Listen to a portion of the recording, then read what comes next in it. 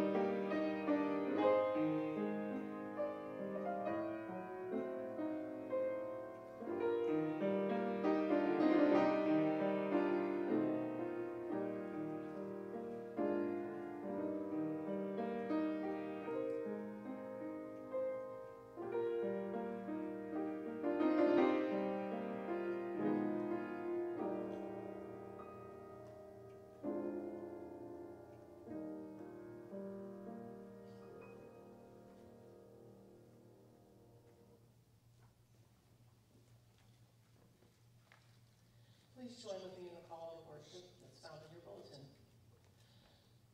Praise and glory to you, Creator Spirit of God.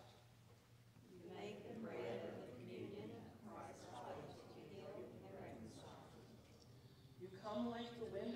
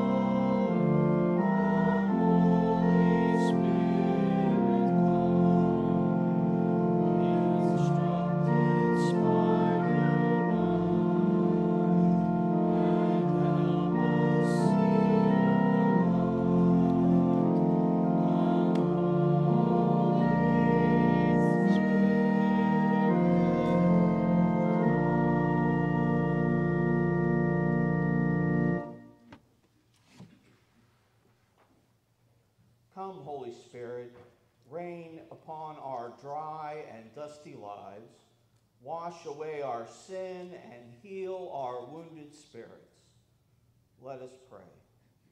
Almighty God, you poured out your Spirit upon the gathered disciples, creating bold speech, open ears, and a new community of faith. We confess that we hold back the force of your Spirit among us.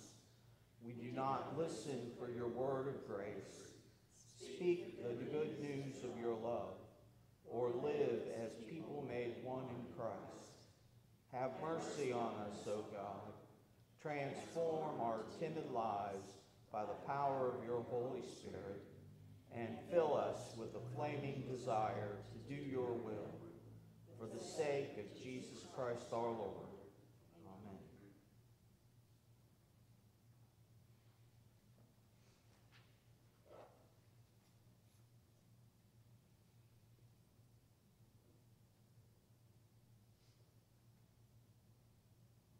God is love. The Spirit of God dwells in us all. In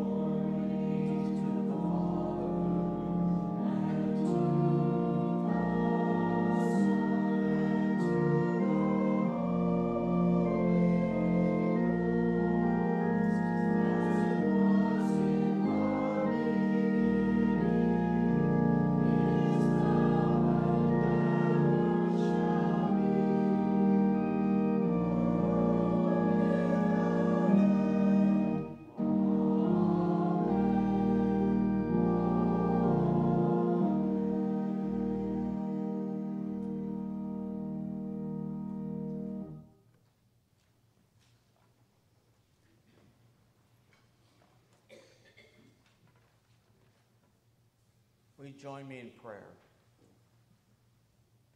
God of wisdom, power, and majesty, who are we that you should look with favor upon us? Yet you have written your law upon our hearts that we may know your righteousness.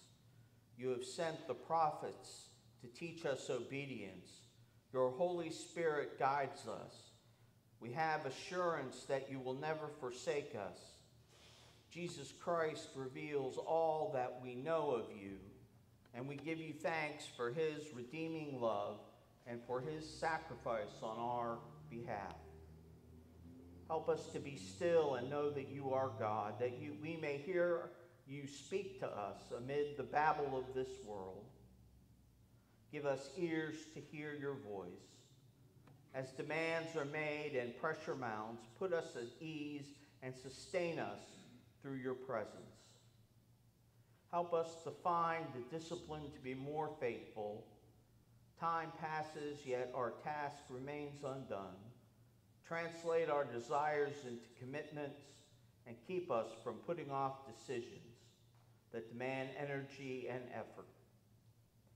Keep us awake to your Holy Spirit's presence with us and instill with us the confidence to act accordingly. Enlighten us with your wisdom. Awaken us to the abiding testimony of your love. Illume the dark places of nagging doubt. And by your power, make us bolder and better disciples. Help us to walk in your way and do your will. Help us to love you with all our heart and strength. And we ask that you would make us a blessing to you and that you would help us to make your church a blessing to each other.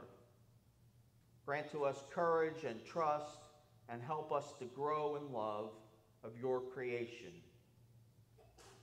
In your great wisdom, O God, you created us. In Jesus Christ, you came to redeem us, and through your Holy Spirit, you guide us.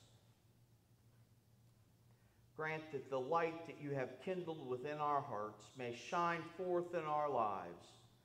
This we ask through Jesus Christ, your Son, our Lord, who lives and reigns with you and taught us how to pray, saying, Our Father, who art in heaven, hallowed be thy name. Thy kingdom come, thy will be done, on earth as it is in heaven. Give us this day our daily bread, and forgive us our debts as we forgive our debtors. And lead us not into temptation, for thine is the kingdom, and the power, and the glory forever. Amen.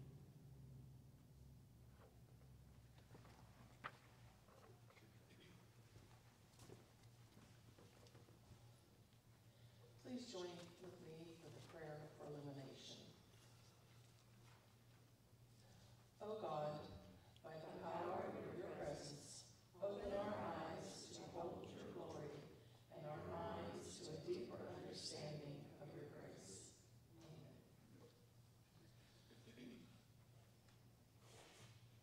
The psalm for t- Old Testament reading is Psalm 104, verses 24 through 35. Join me responsively with your insert. O Lord, how manifold are your works! In wisdom you have made them all. The earth is full of your creation, creatures. Yonder is the sea, great and wide, creeping things innumerable are there, living things both small and great. There go the ships and the Leviathan that you formed to sport in it. These are these all look to you to give them their food in due season. You give to them, they gather it up. When you open your hand, they are filled with things. When you hide your face, they are dismayed. When you take away their breath, they die and return to their dust. When you send forth your spirit, they are created, and you renew the face of the ground.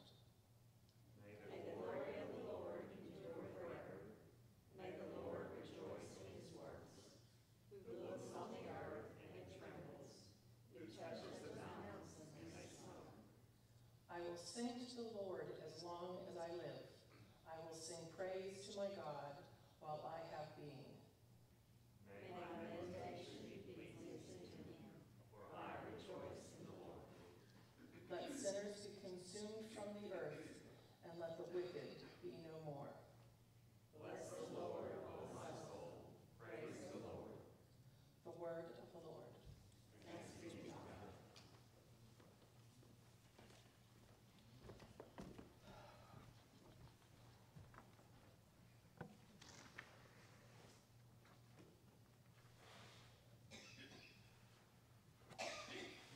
Our epistle reading this morning comes to us from Paul's letter to the church at Rome in the eighth chapter, verses 22 through 27. Listen now for the word of God.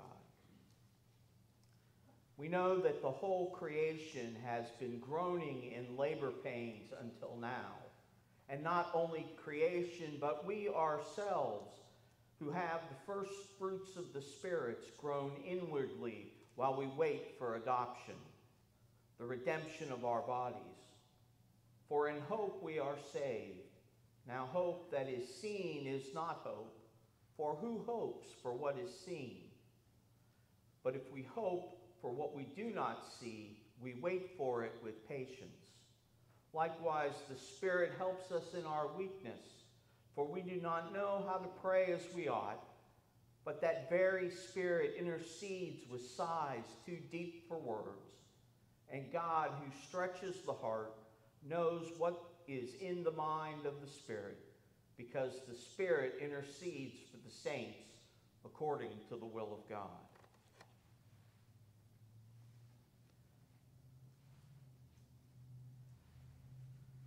And our next reading is uh, from the book of Acts, second chapter, verses 1 through 21. Listen again for God's word to you. When the day of Pentecost had come, they were all together in one place, and suddenly from heaven there came the sound like a rush of a violent wind, and it filled the entire house where they were sitting. Divided tongues of fire appeared among them, and a tongue rested on each of them. And all of them were filled with the Holy Spirit and began to speak in other languages as the Spirit gave them ability. Now there were devout Jews from every nation under heaven living in Jerusalem. And at this sound, the crowd gathered and was bewildered because each one heard them speaking in their native language. Amazed and astonished, they asked, Are not all those who are speaking Galileans? And how is it that we hear each of us in our own native language? Parthians, Medes, Elamites, and residents of Mesopotamia, Judea and Cappadocia, Pontus and Asia, Phrygia and Pamphylia, Egypt and parts of Libya belonging to Cyrene, and visitors from Rome, both Jews and proselytes. Cretans and Arabs, in our own language, we hear them speaking about God's deeds of power. All were amazed and perplexed, saying to one another, What does this mean? But others sneered and said, They are filled with new wine. But Peter, standing with the eleven, raised his voice and addressed them Men of Judea and all who live in Jerusalem, let this be known to you, and listen to what I say. Indeed, these are not drunk as you suppose, for it is only nine o'clock in the morning. Now, this is what was spoken through the prophet Joel. In the last days it will be, God declares, I will pour out my spirit upon all flesh, and your sons and daughters shall prophesy, your young men shall see vision, and your old men dream dreams. Even upon my slaves, both men and women, in those days I will pour out my spirit, and they shall prophesy. And I will show portents in heaven above and signs on the earth below blood and fire and smoky mist. The sun shall be turned to darkness, the moon to blood, before the coming of the Lord's great and glorious day.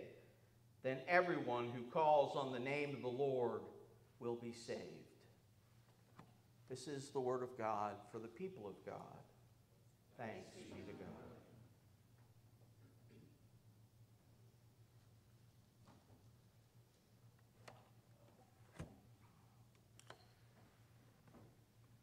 Well, I don't know about this church, but uh, my experience in being a Presbyterian these last many years has been that we Presbyterians don't like Pentecost much. That's because the Holy Spirit scares the bejeebers out of us. And so I want to welcome you into a newness of the Holy Spirit on this Sunday that we celebrate the Pentecost. May the Holy Spirit stir up new life in you. Now, that's a little too tame for rushes of wind and tongues of fire. May the Holy Spirit rage in your hearts like fire, blow in your mind like a hurricane, and speak through you with the tongues of angels. The Spirit of God. We don't talk about that person of the Trinity much. The Holy Spirit, though, has always been around, even if we Presbyterians don't like to admit it. God has always been triune from eternity. God begat the Son, and the Spirit is the life that exists between them. The Spirit had hovered over creation as God spoke it into existence. When Israel mourned and lamented in exile, the Spirit breathed new life into them like the wind animating a valley of dry bones.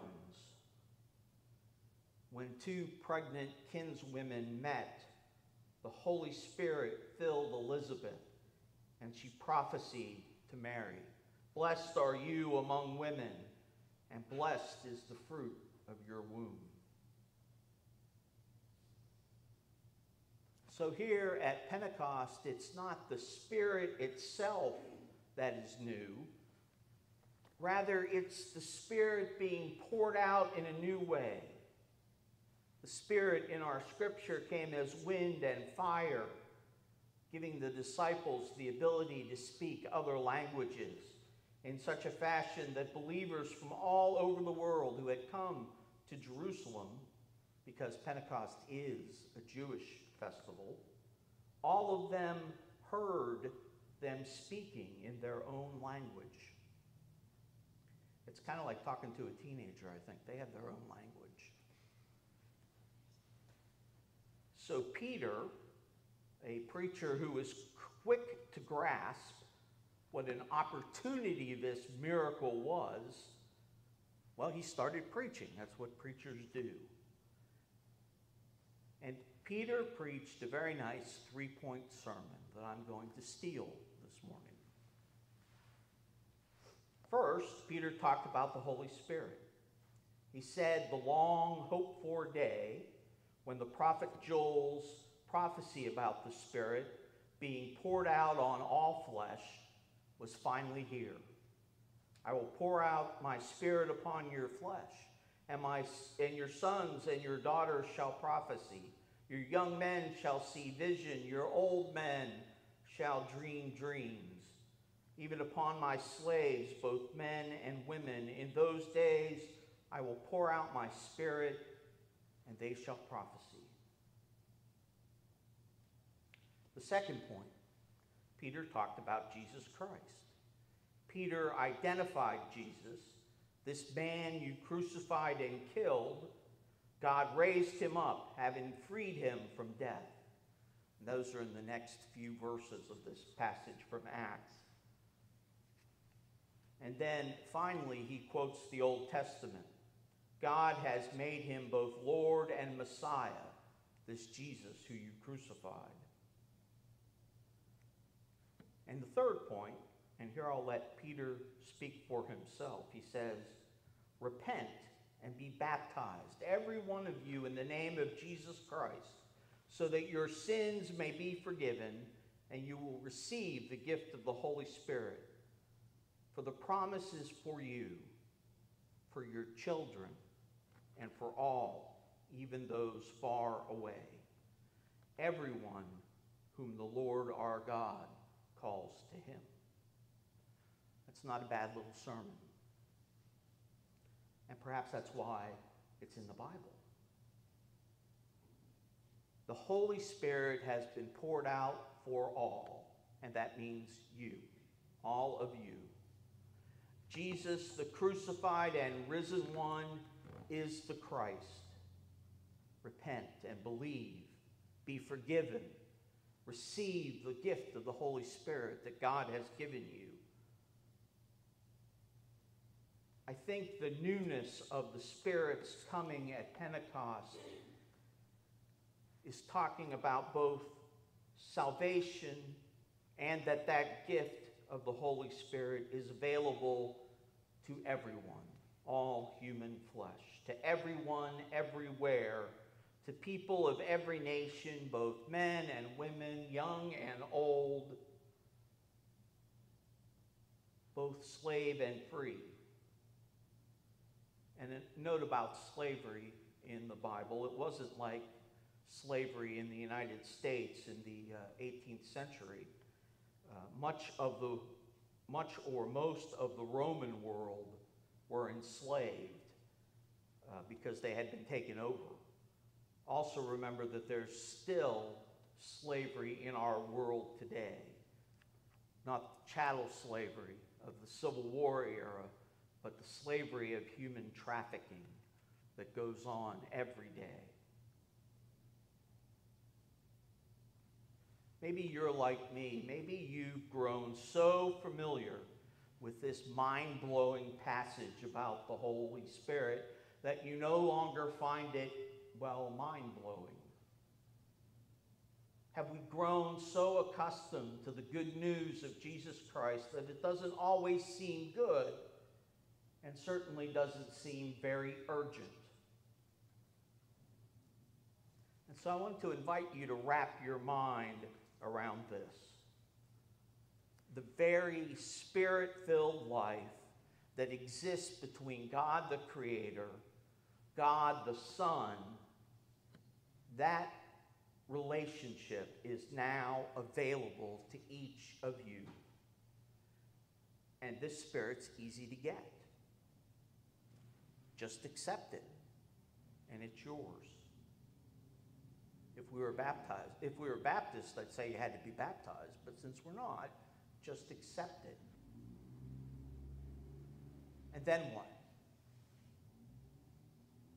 What sort of things might happen when the spirit life that exists between creator and sustainer gets poured out on God's sons and daughters in the world?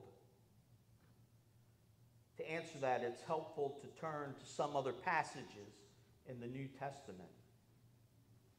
At the highest level, the pouring out of the Spirit brings forgiveness, new life, and frees us from the laws of sin and death.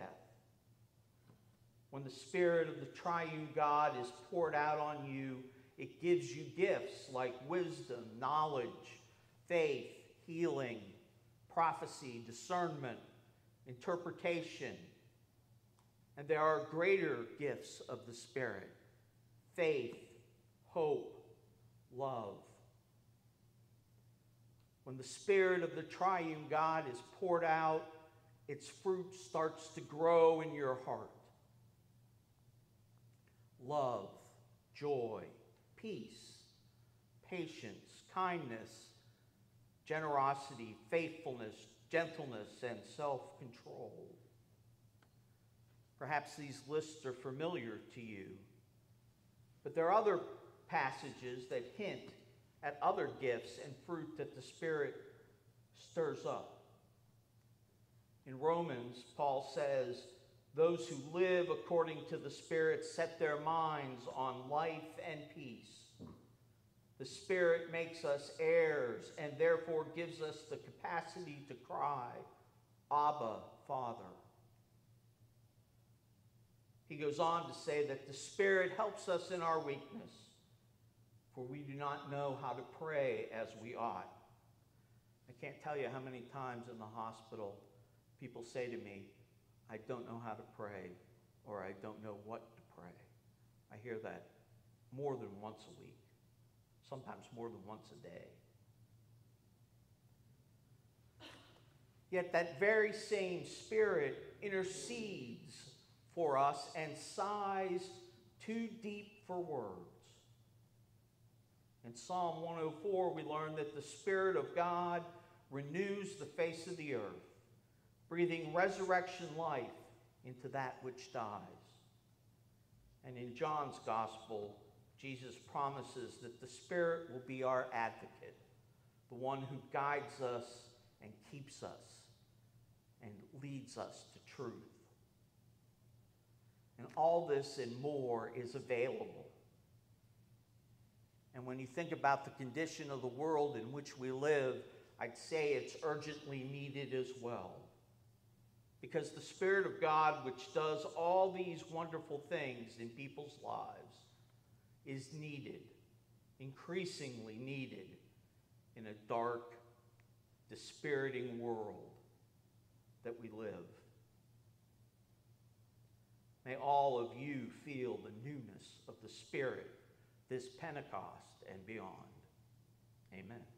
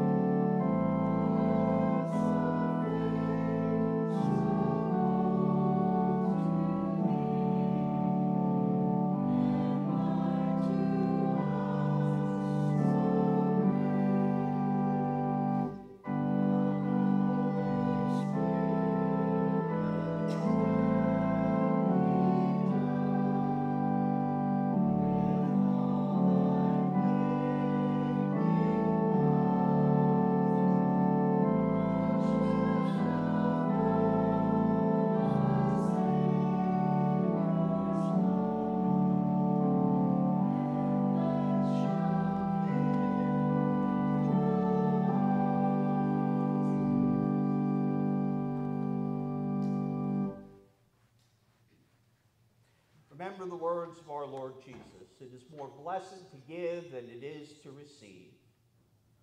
With gladness, let us present the offerings of our life and labor to our Lord.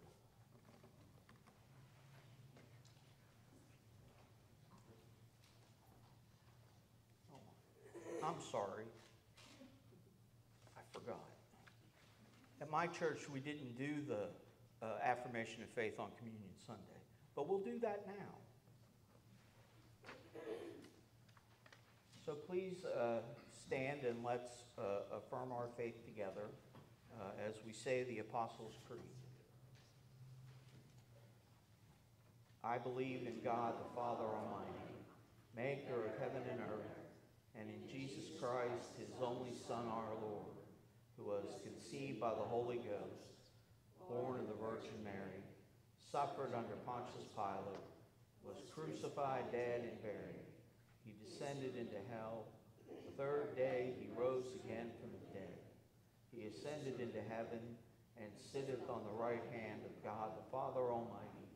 From thence he shall come to judge the quick and the dead.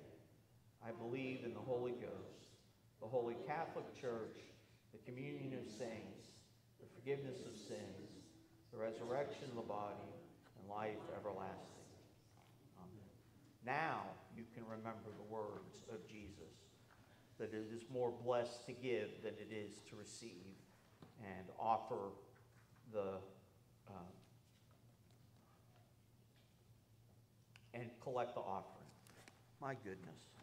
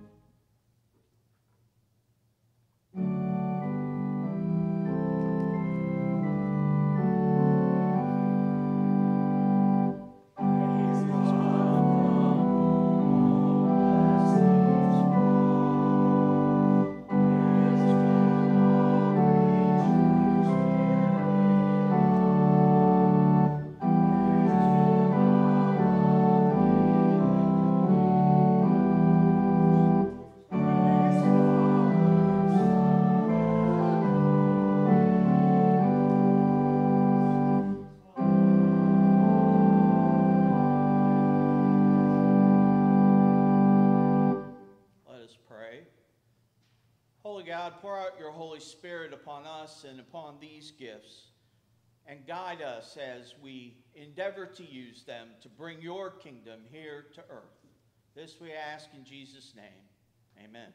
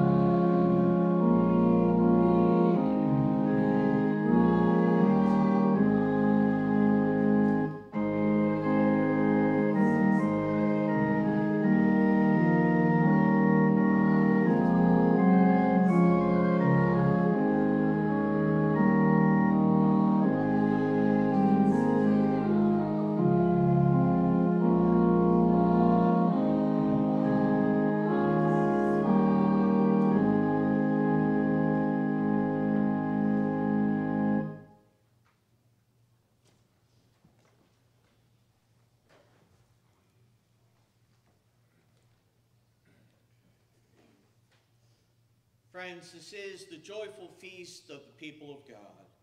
They will come from east and west and north and south to sit at table in the kingdom of the Lord. According to Luke, when our risen Lord was at table with his disciples, he took the bread, blessed it, and broke it, and their eyes were opened, and they recognized him. This is the Lord's table. Our Savior invites those who trust in him to share the feast which he has prepared.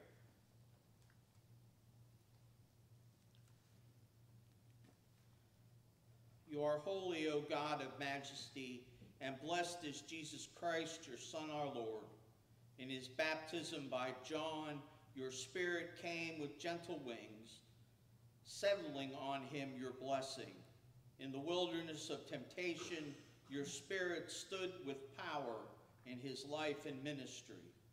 Your Spirit led him to serve the poor, proclaim freedom from the bondage of sin, open eyes with face sight, and befriend the friendless and outcast. In all he did and said, he announced the coming of your saving might. By his death on the cross and rising from the tomb, he broke the power of death and led the way to eternal life. Remembering all your mighty and merciful acts, we take from your creation this bread and this juice, from the gifts that you have given us, and celebrate with joy the redemption won for us in Jesus Christ. Accept this our sacrifice and praise as a living, holy offering of ourselves, that our lives might proclaim the one crucified and risen.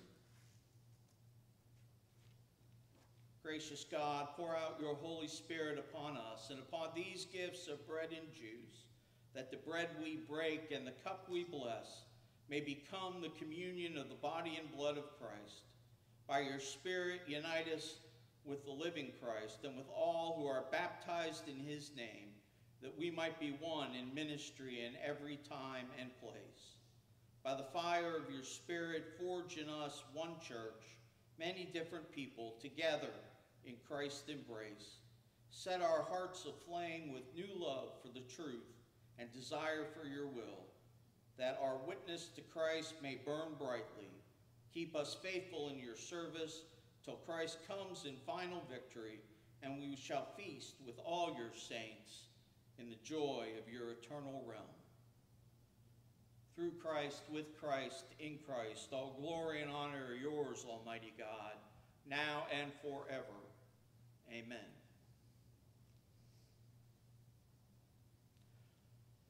On the night of his arrest, our Lord Jesus took the bread and broke it and gave thanks to God and said, This is my body given for you, that sins may be forgiven.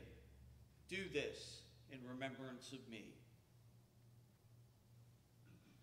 And when supper was ended, he took the cup, and again he gave thanks and praise to God, and gave the cup to his disciples, and said, This cup is my blood, the blood of the new covenant, shed for you and for many, that sins may be forgiven. Do this in remembrance of me. Friends, whenever we eat this bread and drink this cup, we proclaim our Lord's death and resurrection, now and forevermore. Amen. These are the gifts of God for the people of God. Thanks be to God.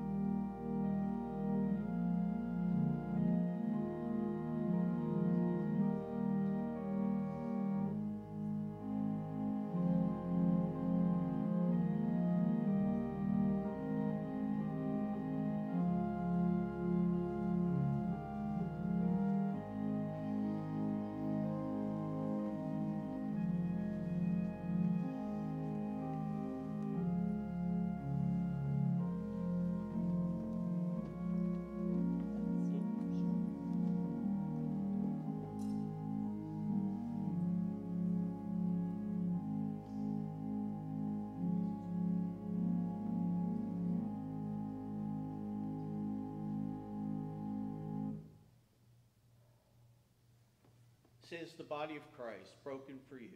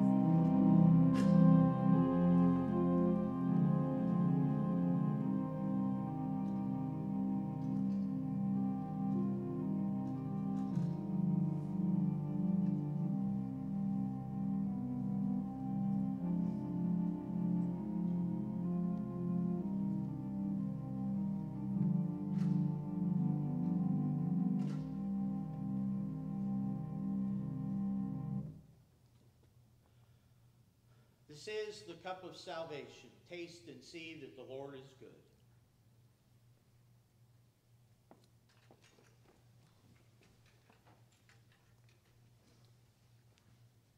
Let us pray. Gracious God, may we who have received this sacrament live in the unity of your Holy Spirit, that we may show forth your gifts to all the world. We ask this in the name of Jesus Christ. Amen.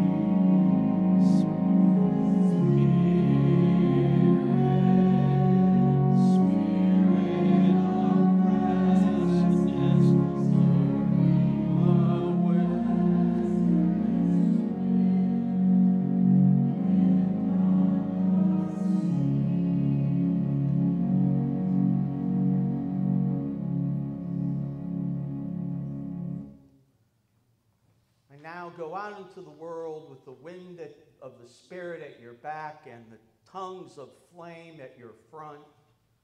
Have courage. Hold on to what is good. Return no one evil for evil. Strengthen the faint of heart. Support the weak.